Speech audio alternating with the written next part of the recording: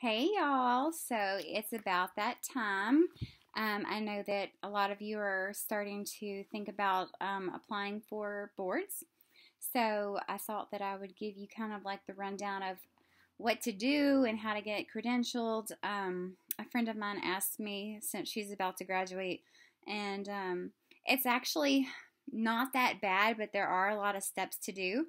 So um, I kind of made a little. Uh, how-to guide. This is more for um, the AANP.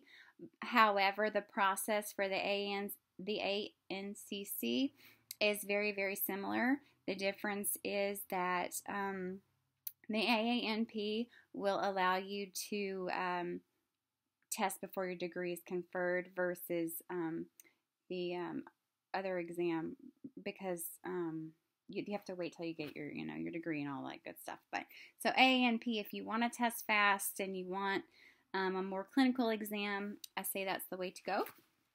So I'll go through the steps. I'll also list them below because I listed all like the websites and the addresses and stuff like that that you're going to need uh, for basically applying for your boards all the way to um, getting your APRN license, your DEA number, your NPI number, um, how to get paid by insurance. So this is a pretty comprehensive video. Um, if you don't want to listen to me talk, then you can just look at the description below because I'll just put everything down there. But I'm going to explain a couple more things a little bit more thoroughly in the video versus um, what's down below. Okay?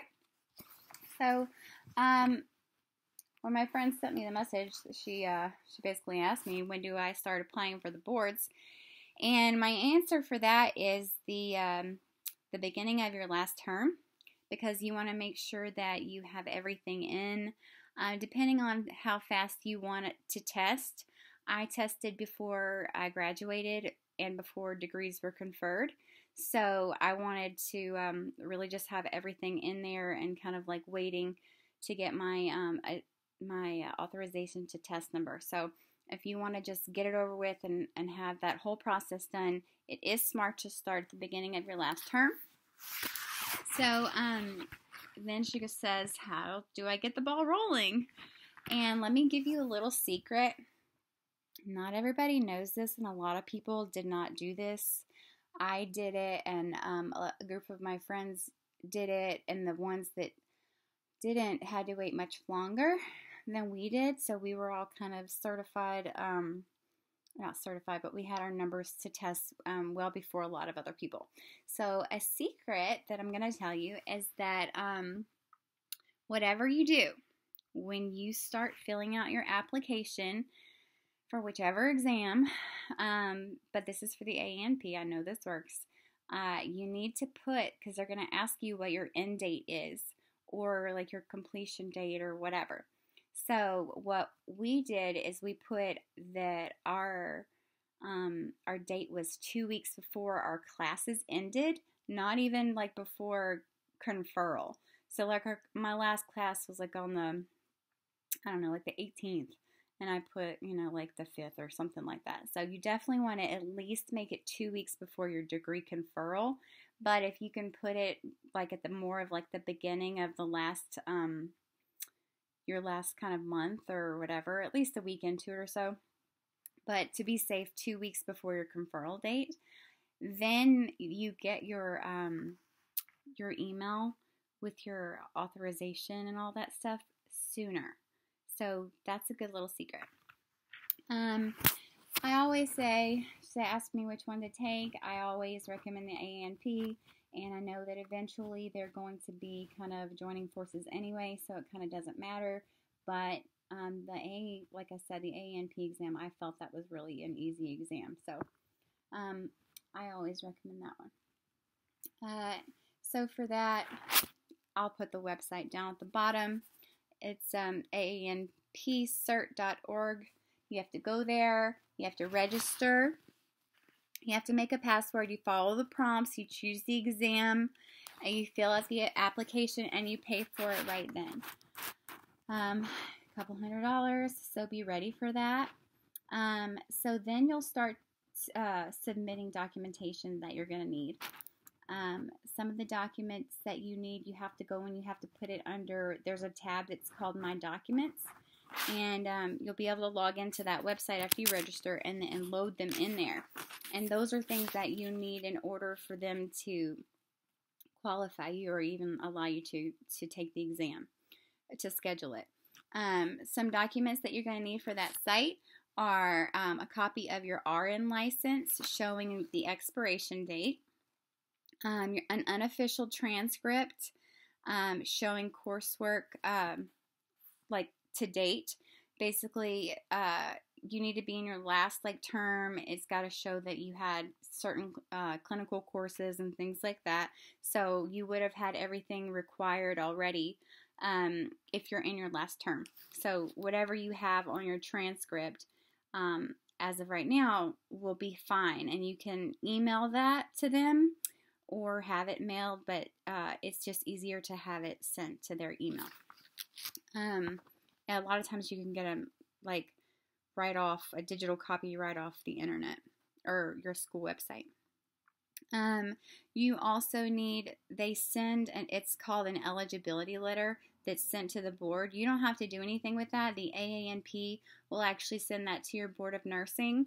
So um, that you don't have to do, but that'll be with something that's listed in your documents once it's actually done.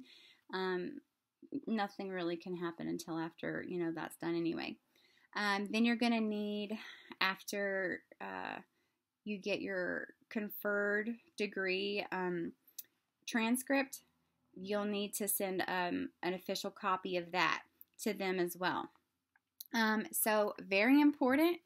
Uh, you need to contact your school, your registrar's office, or whatever, and you need to find out uh, what the absolute soonest time you can request an official um, copy of your your transcript. Um, the AANP will allow them to email it which is the best way to do it. I also um, snail mailed it just to be safe. Um, I'll list the address too, the email address and the the address that you send it to down below. But um, they do their request by the order they receive things in. So the faster you can you can get your transcript there, the faster you're going to be able to register for your test and get everything going. So, very important. Don't wait around for that. Um, I know mine was like, they, they were like, oh, well, you can call at 12, 12 p.m., the earliest on, you know, the 30th. So it was like, we were like, okay. So, we, you know, we did that, and the ones that did that got our stuff much sooner. So, you want to do that. Um, let's see. Hmm. Oh, you also need to check your state board of nursing and see how what the directions are for um, how they want you to send your official transcript because some of them don't do email. I know my state didn't. You had to actually send it through the mail. So um, you definitely need to check with that because they'll need it as well. So you need to request the copies at the same time. Um, when you're filling out your transcript request and it asks for the address, um, well, you're going to put the email address uh, for the ANP in, in the address part. Um, and then if you're going to do snail mail too, put and so it sends a snail mail one and an email one. Um, just so you know. Um, some people get confused with that. Um, let's see. So that's that. Now, getting your APRN license is the next thing that you have to do. You can start um, that process early too. You do that the same way that you registered for your RN license. You go to your state board of nursing. Um, you fill out the application and you pay for it, and then they will uh, wait for your documents to come in that will verify. And then um, you want to do this early too because you're already they've already started like the process and then you know as documents come in it makes it much much faster um, to actually get your license if you start that process early so, so everything started now all of it um, Oh, and background checks, those are state specific. My state didn't make me have um, a background check for my APRN license, but like my friend lived in Florida, she had to. So you need to check with that too because um, you don't want to like do everything else and then find out at the end, you know, crap, I needed a, a background check. So so look into that. That's important too. Um, uh, let's see. Oh, supporting documents, you know, they'll tell you what you need.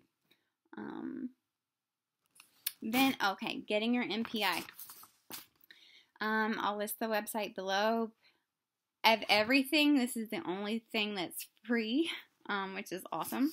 And it's really, really, really fast. You, um, I'll put the website below. You log into it, you fill out the information, and like you almost get it your number like instantly. So it may take you like 30 minutes, may take a couple of hours. I mean, I guess if they're backed up, it might take you a day, but everyone I know got their NPI number super, super fast um, within a few hours to a day. So that's good.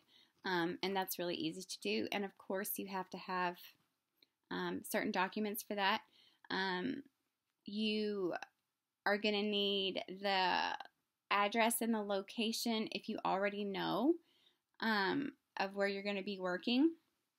Um, then if you don't have a job yet, you can just put an address in there. You can put your address in there because you can always go and alter your application later.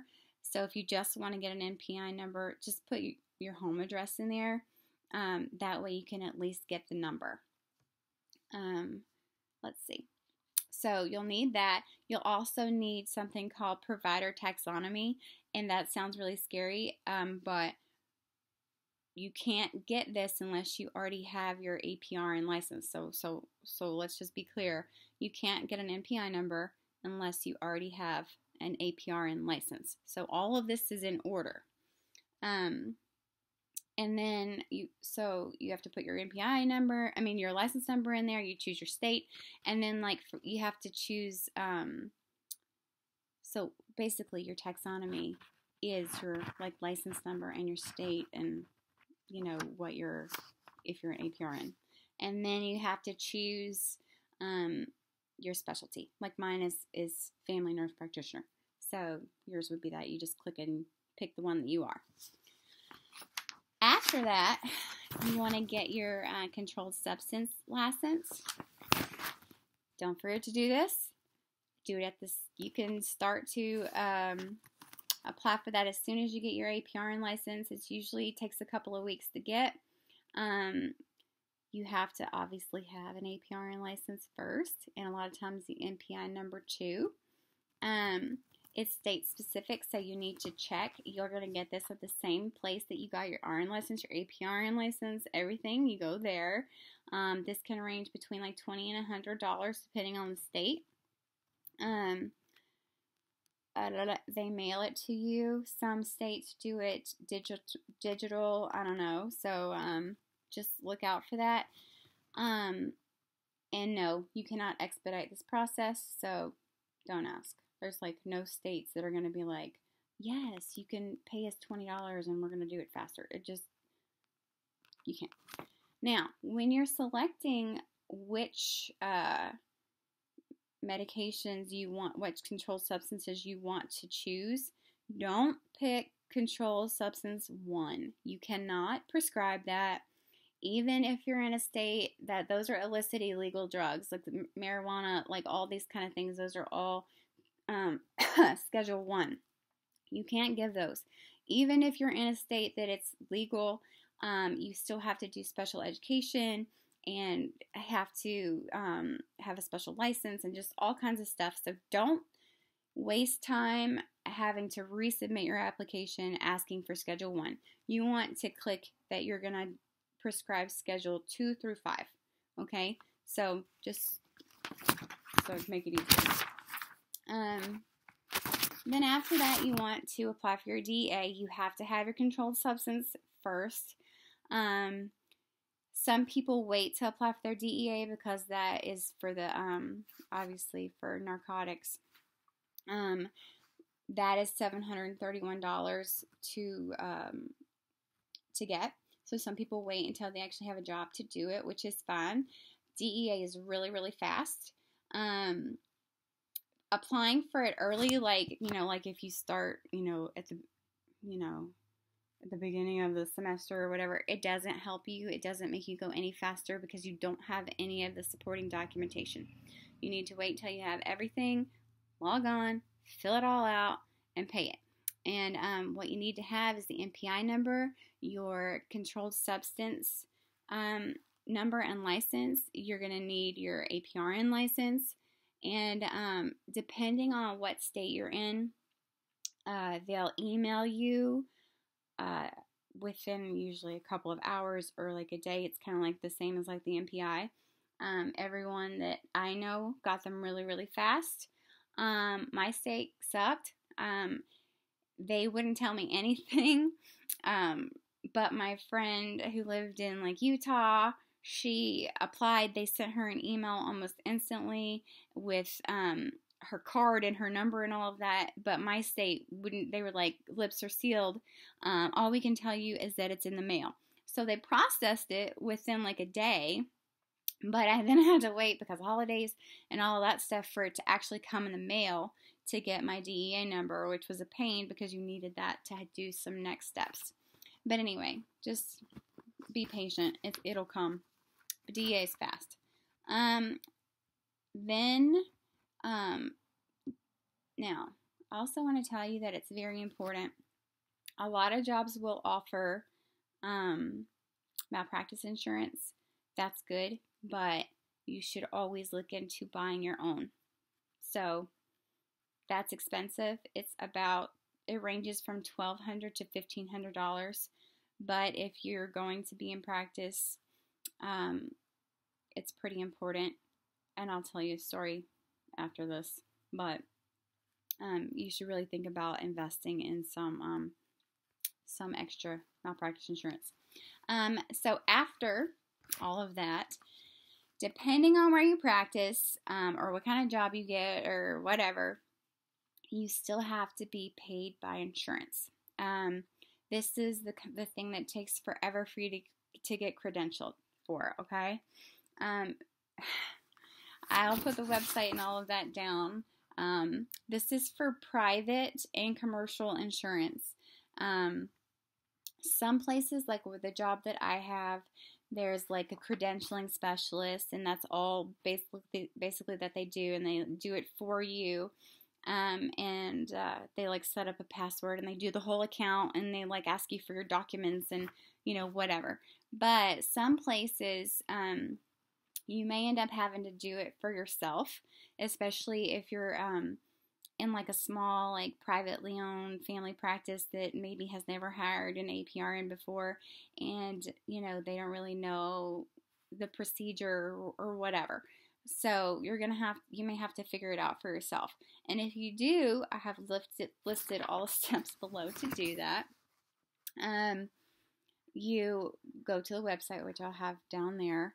Um, but it's called the CAQH. So what this is is this is a website where you upload all of your documentation, basically showing that you know you're legit. It's four o'clock. Um, and uh, it allows all these insurance companies to access your information in one spot and to then verify you as a payee and, and get you processed through their system and um, listed as a provider for their insurance. So, like for instance, like if you have Cigna, um, and you like were to Google your Google say, oh, find a provider for Cigna.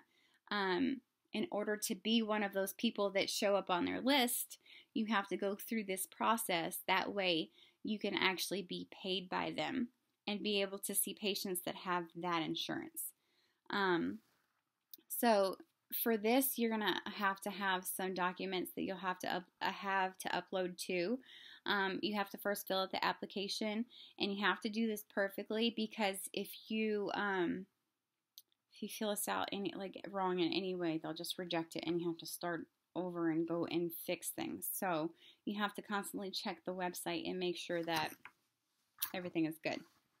Um, but you'll also need a picture of your diploma, so you actually have to physically have that. Um, a copy of your malpractice insurance. So if you bought your own or if your company is um, going to be giving you insurance, you need to make sure that you get a copy of that if you're having to do it by yourself. Um, if a hospital or whatever is doing it, they'll already have that for you. Um, and a copy of your APRN license. Um, like I was saying, this website is like no joke. You need to make sure you do everything right and you have to just be careful and take your time and go through it the right way because some things just sound weird, but you need to just um, watch it. Now, this is the thing, like I said, it takes forever. This process, after you've you've you've completed you know, and submitted all your junk, um, it takes between 30 and over 120 days for you to be credentialed through insurance companies. So, um, when you first start as a nurse practitioner, so if you're in private practice or if you're anywhere, anywhere that you are, um, if except for like a hospital or something like that, um, even if you go into specialty or whatever, they're still going to want you to be able to be paid by these insurance companies. So, all the different kinds of insurance that everybody can have in your state, um, you're going to need to be credentialed through them. And they all do it on their own, and they all do it on their own time, and they do it on their own terms, and there is no way that you can speed it up. They um, get a, basically a notification that um, you know there are new providers that are in the um, the C um, the CAQH and they can access your information and they access it whenever they feel like it and then they take their sweet time to process you and then you get an email basically a letter saying oh welcome to Cigna or welcome to Anthem Blue Cross Blue Shield whatever some are much faster than others um, I'm still waiting it's been four months now I'm still waiting I'm in Connecticut I'm still waiting for one of the biggest companies here Connecticut and I just checked the website yesterday and they just accessed my information for the first time yesterday. So, and then now they'll take probably um, a good two to four weeks before they decide that they're going to let me be a provider for them. So, uh, I mean, you just got to wait. Uh, someone who's hiring you, they're going to know this. Um, the good thing is that um, You'll be able to see Medicare and Medicaid patients, and if you have to sign up for that yourself, because no, that that doesn't just happen on its own either, unless you know you're working for like a hospital or someone who has credentialing people.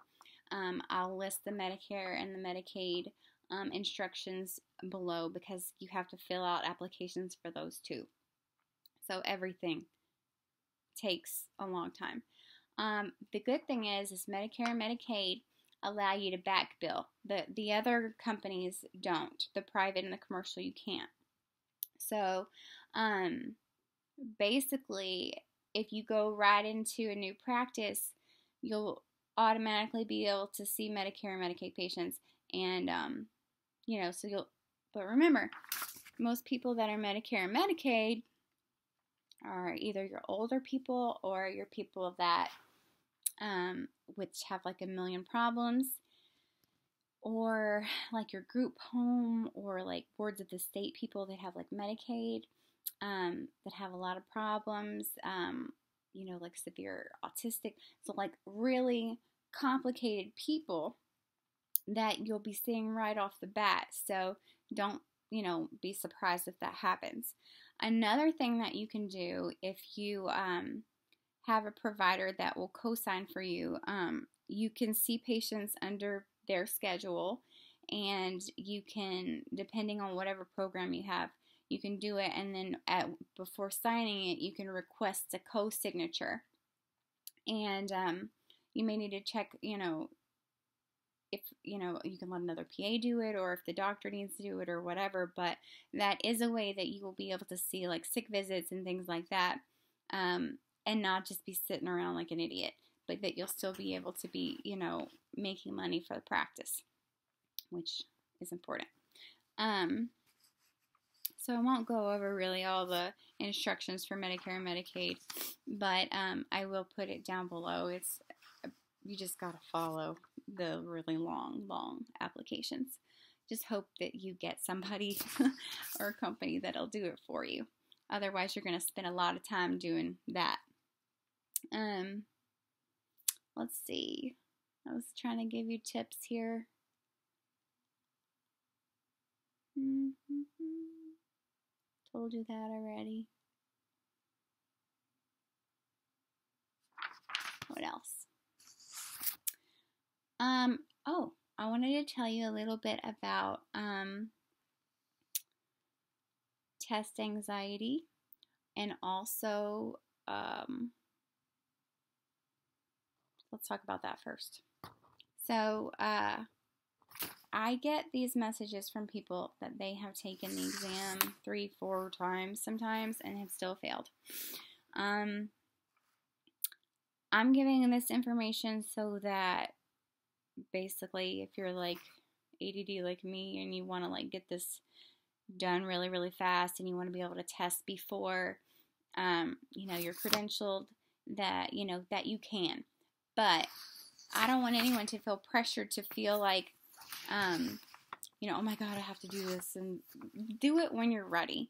Um, even if you start now, which is still smart, um, you don't have to be like me and like test before your your you know your degree is conferred. So I mean, but if you get all of this stuff done, um, and you don't want to test that early, you still don't have to worry about trying to get all of these things while you're trying to study for the boards after you've taken your finals. So, um, I don't want, you know, anyone to feel like, you know, like, oh my God, like, this is just one more thing. I have to do all this because it can seem that way. But I also wanted to mention that if you ha- are someone that has um, test anxiety or if, you know, whatever, on the day of the exam, I would get me some propranolol. And we all know about propranolol. So uh, ask your provider or a friend or whatever to provide you some of that because it will make you nice and calm to take your exam. Because I hear people, you know, they get really, really anxious and they feel that that was what, you know, kept them from passing a couple of times.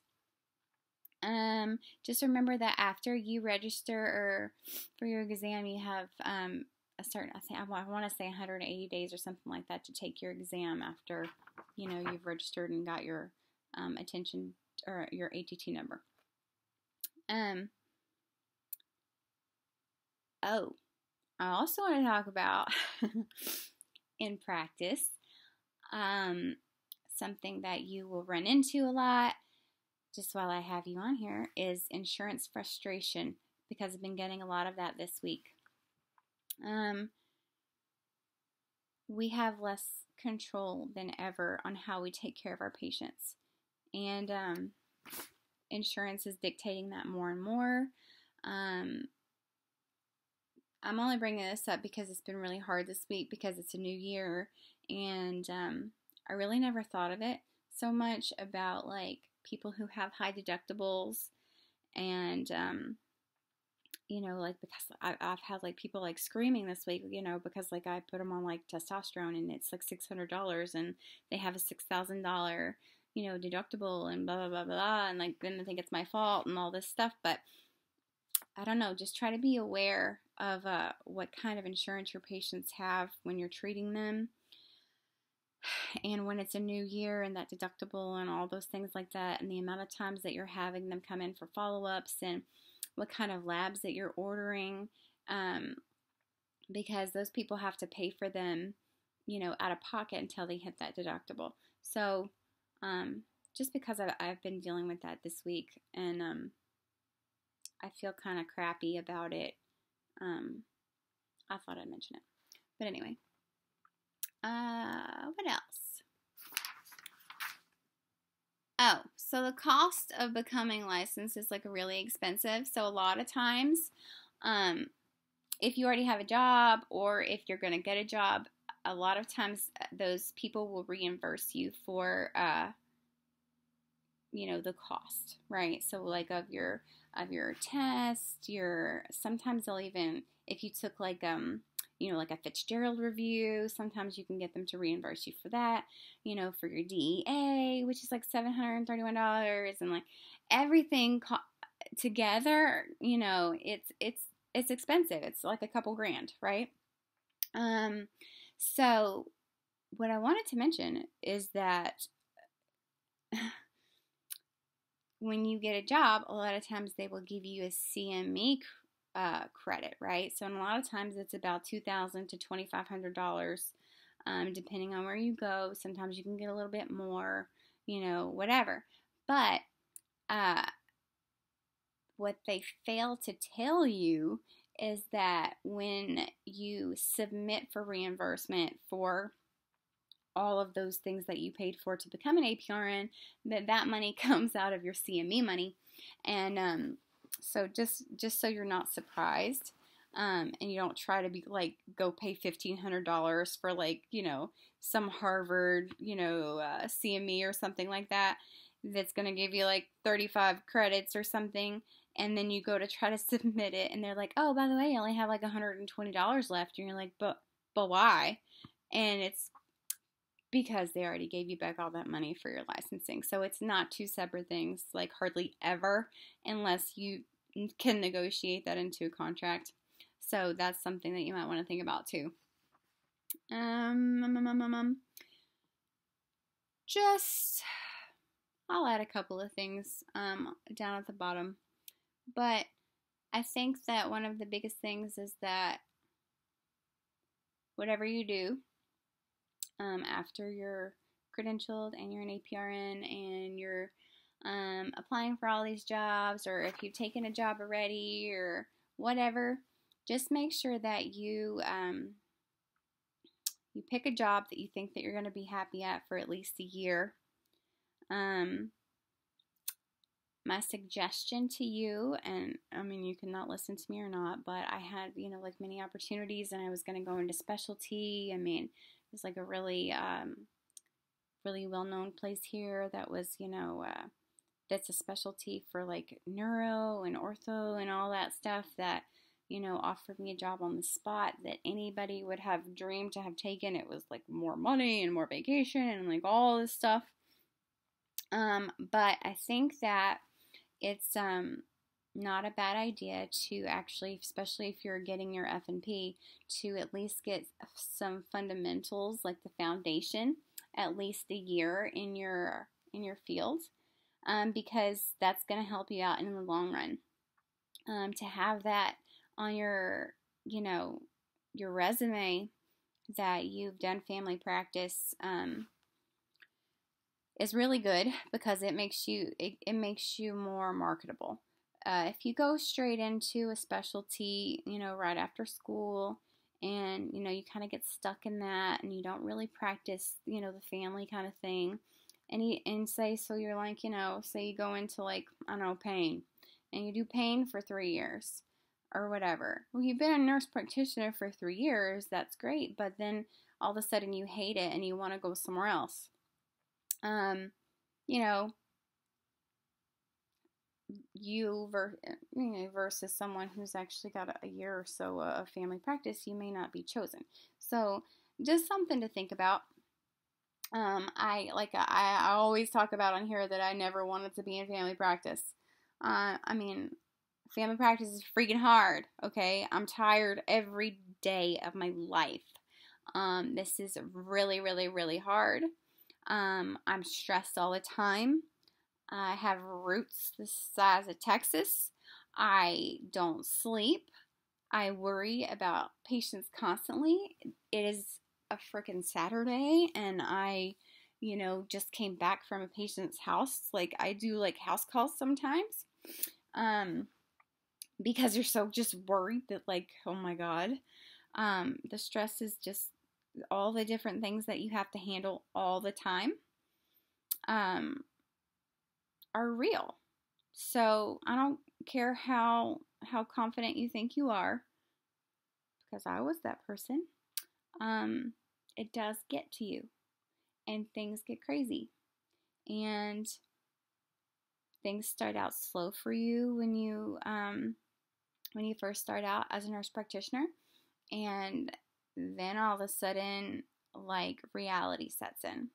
So like they baby you, they coddle you for like the first, you know, couple of months and then because you're not credentialed really, so like, you know, you can't really see that many patients anyway and you're you're you know, you're like slow and you think you're all great at it, but you're still stressed because you're worried about the patients, but then all of a sudden your insurance coverage start coming in, your schedule starts filling up and people start hearing about, you know, the new nurse practitioner and everybody wants to see you and all of a sudden uh, you are working through your lunch because you're trying to keep up with your charting and your paperwork, which sucks. It's terrible. Um, and that's with everything, but especially family practice. Uh, you have to try um, and make sure that you keep up with all your labs. You have to every lab that you order, every x-ray that you order, every anything that you sent out has to be reviewed. And all of a sudden, your tasks start filling up and your documents and your orders that need to be signed and then well, what happens when they're abnormal? And then you have to go back and you have to fix it. So then, but on top of it, you have 500 phone calls and you have a nurse and an MA and you have all these questions and you have all of the patients that you still have to see and chart on, and it gets crazy. Um, so the first, I'm gonna say the first year is probably gonna be really hard because people. I'm a strong, confident, like smart, like very like multitasking kind of person. Um, but I want to pull my hair out on a daily basis. I really do. And uh, I'm just going to be honest. it's hard. It's really, really hard. But I hope that this video and the comments below and the directions and all of that help you um, to at least make the application process and the getting license process easier because, you know, nobody helped me.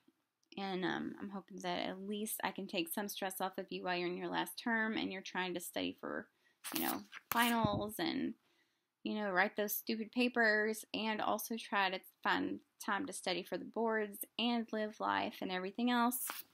Um, so, as always, good luck. And um, I will see you soon. Bye.